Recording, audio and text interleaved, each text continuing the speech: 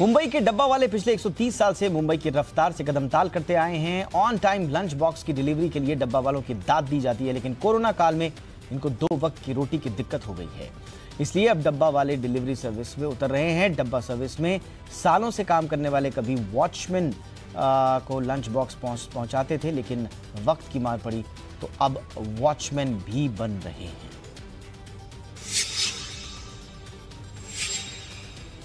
पूरी दुनिया में कोरोना वायरस से निपटने के लिए वैक्सीन लाने की कवायद जारी है। इस बीच देश में कोरोना संक्रमण के मामले लगातार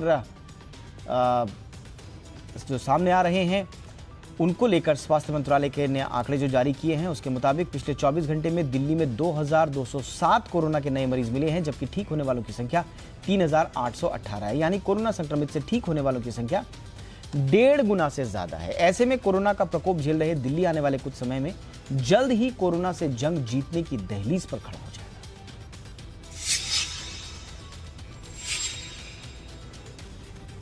कोरोना वायरस का वैक्सीन का ट्रायल करने वाले हरियाणा के गृह मंत्री अनिल विज के कोरोना संक्रमित हो जाने पर कांग्रेस नेता दिग्विजय सिंह ने इस परीक्षण और उनके वॉलंटियर बनने पर सवाल उठाए। दिग्विजय सिंह ने कहा कि हरियाणा के गृह मंत्री अनिल विज ने शोहरत पाने के लिए वैक्सीन दिया उन्होंने परीक्षण के प्रोसेस पर भी सवाल उठाया उन्होंने कहा कि यह नया रोग है। इंसानों से पहले जानवरों पर ट्रायल होता है। यहाँ सीधा इंसानों पर हो रहा है।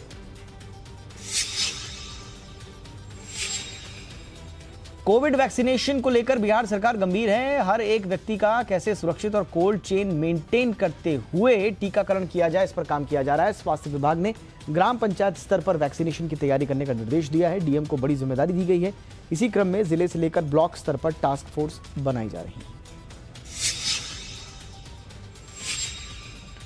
राजस्थान की गहलोत सरकार ने किसान आंदोलन के बीच किसानों को बड़ी राहत देते हुए डार्क जोन में कुआँ और ट्यूबवेल खोदने पर लगी रोक को हटाने का फैसला किया है।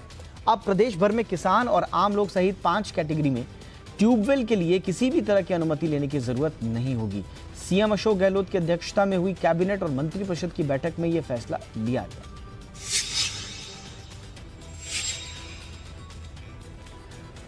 कोरोना वायरस ने एक बार फिर फ़िल्म इंडस्ट्री में अपनी रफ्तार तेज कर दी है। ये जानलेवा वायरस तेज़ी से फिल्मी सितारों के बीच फैल रहा है। बीते दिनों एक्ट्रेस नीतू कपूर और एक्टर वरुण धवन इसकी चपेट में आ गए।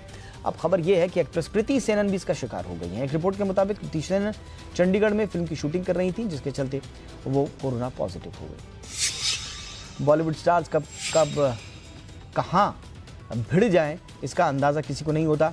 इन दिनों ट्विटर पर अनिल कपूर और अनुराग कश्यप की तकरार देखने को मिल रही है। अनिल कपूर और अनुराग कश्यप ने एक दूसरे पर निजी हमले किए हैं। अनुराग ने तो अनिल कपूर के ऑस्कर जीतने पर भी तंज कस दिया। दरअसल अनिल कपूर ने सोशल मीडिया पर दिल्ली क्राइम सीरीज़ की टीम की तारीफ़ में एक ट्वीट लिखा था। उन्होंने कहा था कि आप डिजर्व करते हैं। ओटीटी प्लेटफॉर्म्स पर इस साल अब तक 45 से ज़्यादा फ़िल्में रिलीज़ हो चुकी हैं। इनमें से कुछ फ़िल्में सीधे नहीं प्लेटफॉर्म्स के लिए बनाई गई थी। तो कुछ ऐसी भी थी जिन्हें लॉकडाउन में जब सिनेमाघर बंद हुए तो मजबूरी में यहाँ लाना पड़ा।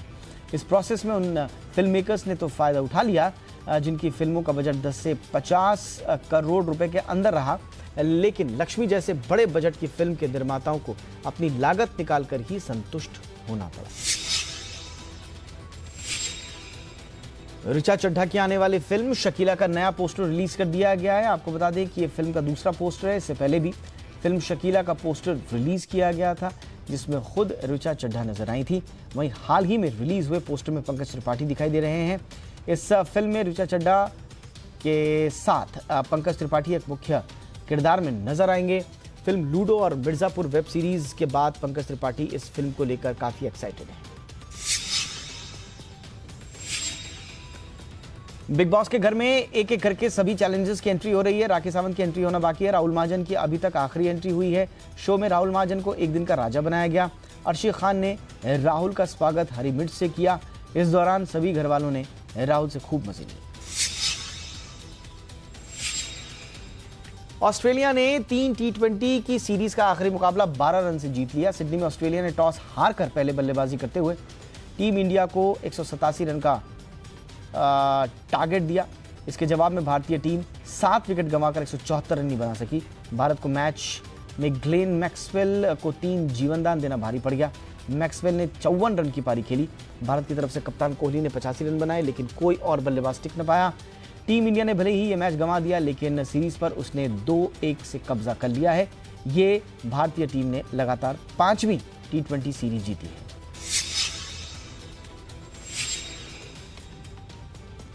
मैच के दौरान डिसीज़न रिव्यू सिस्टम यानी डीआरएस को लेकर विवाद हो गया।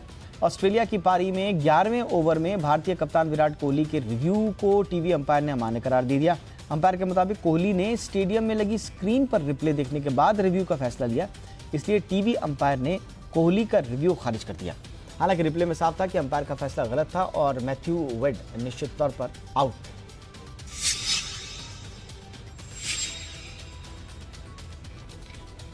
अगले साल टोक्यो ओलंपिक के दौरान एथलीट्स को इवेंट खत्म होने के बाद गेम विलेज को खाली करना पड़ेगा। तो वे इवेंट शुरू होने से पाँच दिन पहले ही टोक्यो आ सकेंगे। उद्घाटन के मौके पर भी सभी खिलाड़ियों को परेड में भाग नहीं लेना पड़ेगा, उनको नहीं ले सकेंगे। बल्कि शुरुआती हफ़्ते में आयोजित होने वाले इवेंट के एथलीट्स को ही इसमें भाग लेने की इजाज़त होगी। इंटरनेशनल ओलंपिक संघ ने इस तरह के नियम कोरोना प्रोटोकॉल के तहत बनाए हैं। आईओसी के मुताबिक खिलाड़ियों को इवेंट खत्म होने के 48 घंटे के अंदर वापस जाना होगा।